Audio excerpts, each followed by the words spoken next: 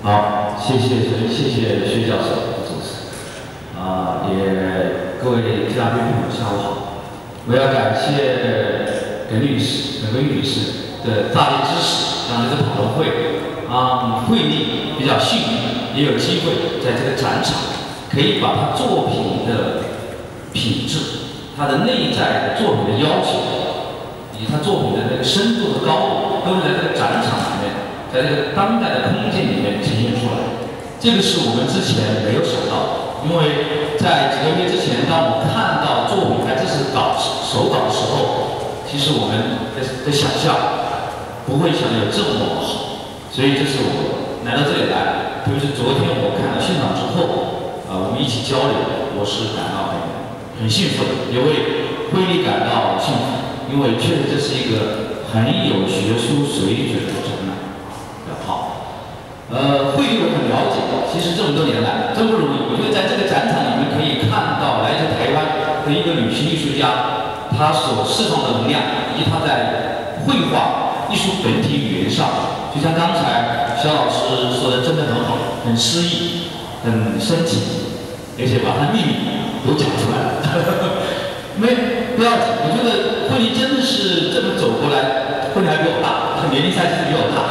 呃，所以不容易。真的是能够把自己这几十年来的心血都放在艺术探索上。刚才我们看到的几个阶段很丰富，说实话，之前我也没有看到这么丰富的一个过程。呃，肖老师真的很完整的体验出来。啊，真正我们看他的多样性，他的能力，有他的能力其实是很强的，体现在山水的这个造型的转化上，体现在颜色，就传统的青绿、水墨的金碧。在这个颜色的转化上，体现在他对观念、对他拼贴、对材质的探索上。所以，其实会议的整个水墨的实验，可以看得到水墨在当代转化的整个探索的过程。但进入这个作品的时候，我觉得会议到了一个新的高度。这个高度可能是标志着水墨在当代的一个真正的语言形态和一个当代性。好，下面我就来讨论一下这个 PPT 的内容。好，我就做了。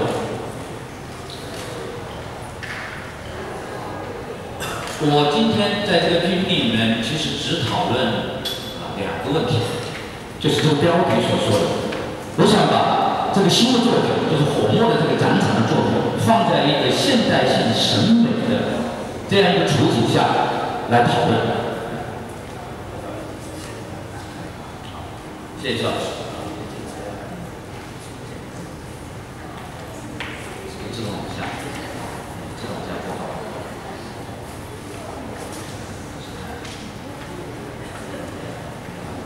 好，等肖老师帮我弄一下，我来讲一讲啊。因为刚刚肖老师 PPT 做的很很漂亮，我这个比较学术一点啊，这个文字比较多一点，我文字比较多。当然了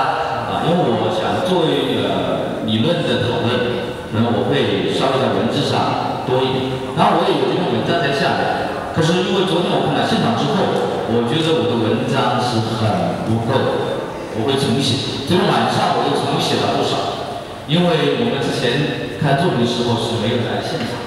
这是为什么说一个展览、一个现场的讨论，再去写文章可能会更好啊。这个文章我会修改很大，好啊。包括今天早上我也写了很多，重新写了很多。你看，我读一下今天我写的内容。这个是之前做的 PPT 啊。没事没事，就这样。我觉得我不想觉得太做。这样子没有出来，没接起来。啊，因为那个是你们那一位专家的，那一位专家。没关系。啊，没事，没没没，我我就慢慢讲。这个。我要把它放在这个现代性的处境下，就是说，为什么火墨和火性不同于传统的水墨？当然，我们在古典的时代是称之为笔墨，所以有笔有墨。现代性以来呢，我们称之为水墨。那非常奇怪，为什么水水性这种材料会成为一个现代性的命名，而放弃传统的笔墨？这是当然是因为呃现代性的转换，比如说。在台湾，刘国书先生开始抛弃传统的笔笔器，成收金剥皮，把革中锋的命，把笔性丢掉，在阴上说成这种水墨，这就是因为整个现代性在水墨的转换上是从材质本身开始转换。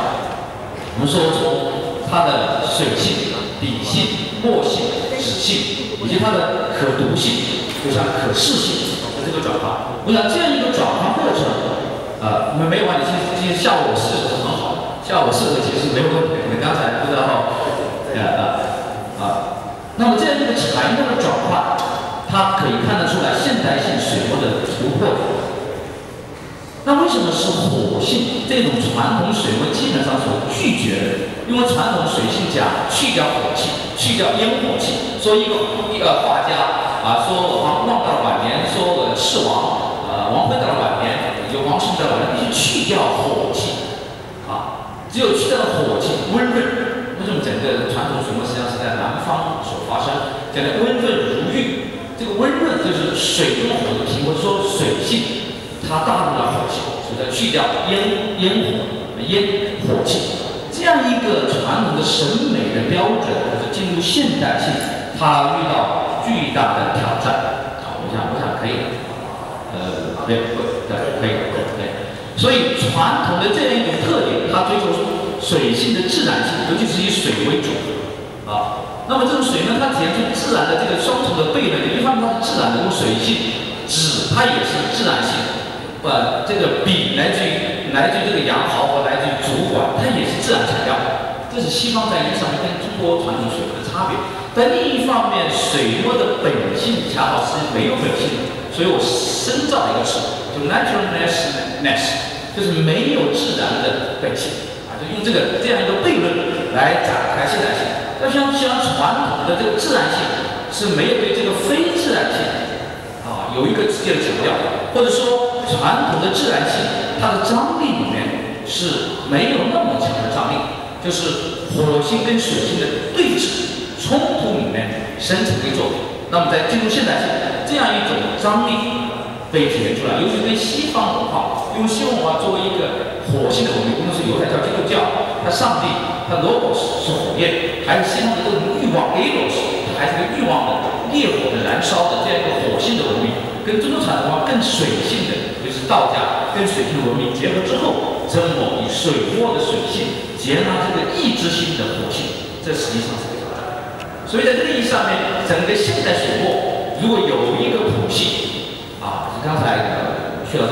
黑度，说的黑度，从黄宾虹晚期的用黑墨焦墨、朽墨开始，就是一个黑夜的诗学。它从青城山、西藏青城山开始啊，它其实开始的一个黑度，一个黑一道张力的焦墨、朽墨啊。整个包括九十年代中国实验水墨，呃，当然我们说，呃，台湾的元华东方的这个，尤其是外，呃，就是由中期开始的水墨，现在已经有一个对黑度的这个冒险和探险。所以，当火的颜色实际上是更靠近黑色，烧焦，啊，所以对这个黑颜色的结纳，对这个黑度的结纳，对火性的结纳，其实是一个现代性的生命的焦灼与焦虑。我们在汉语里面说焦灼与焦虑都是火有啊。这就吧，说现在人的个人的焦虑，个人焦虑，这是一种，那就是说，必须结纳一种意志的火焰，必须改变材质的质感，就是质量改变，就是现代性的水墨跟传统水墨差别在一个能量的改变和一个能量改变是个人的欲望的结纳，对，那么它的能材质的改变是质量改变，不是水性，而是火性。那这一点我们可以看得出来，这种水火的二重性，也就是下面所讲的。啊啊那么，这种结纳的抑制性和结纳火性，其实在整个九十年代以来，实验水墨以来，大陆的艺术家也有对火性。我这里简单讲一讲，因为时间关系。第一个就是王天德，王天德是用香烧做这个皮纸，啊，运动形成一种叠印的山水的轮廓，啊，就这个，就这个作用。对，这其实我包括这个，对，后来把碑帖也弄上去。啊包括石碑的拓片等等，在这个里面，呃，我就简单讲，它我把它称为七重印，就是多重的叠印，有墨线的书写，它底层是有书写的，然后烙印那个烧灼，然后拓印叠加，然后强化皮纸的肌理效果，它把那个呃皮纸本身的就融过去了，就是这个这个这个这个呃云龙轩的那个肌理感叠印在这个它画过和烧灼过的痕迹上。形又把传统的镂空，和，中国的镂空感啊，加数码打印，反复叠印，形成画面上的一种所谓的长痕和一种余痕，形成一种古今时空的叠加的交错。我觉得这是他的整个绘画本体语言的建构这种是通过烧灼、镂空感、叠印所形成。还有另外一个艺术家，就是秦冲的作品。我们看秦冲作品的时候，他是把很多宣纸卷成一个桶，然后这个烧这里的上面形成一个长端，然后在空间里摆了很多很多。你看这个，啊，这是他的叫过去未来。在这个作品前，我们在现场里可以看得到绘丽的这个卷起来的这个这个是铜，是有一个对应关系的，是一个呼应关系，但是深层的处境说。呃，语境的指向性是全然不同，因为它这里这是一个观念性的装置作品，但是绘业作品两种这个差别是指向一个绘画性，啊，这是完全不同的指向，啊，而且它是它就只是指向一个观念性的一个场域的作品，而绘的作品是指向回到了绘画上有点古典的对话，所以在这个意义上，那当然我们说，秦冲的作品里面也有一种思考。我觉得它里面是有种思考，就是把它卷成烟筒，它有一种啊对残碎、残端，有一种烧灼形成的墨痕的。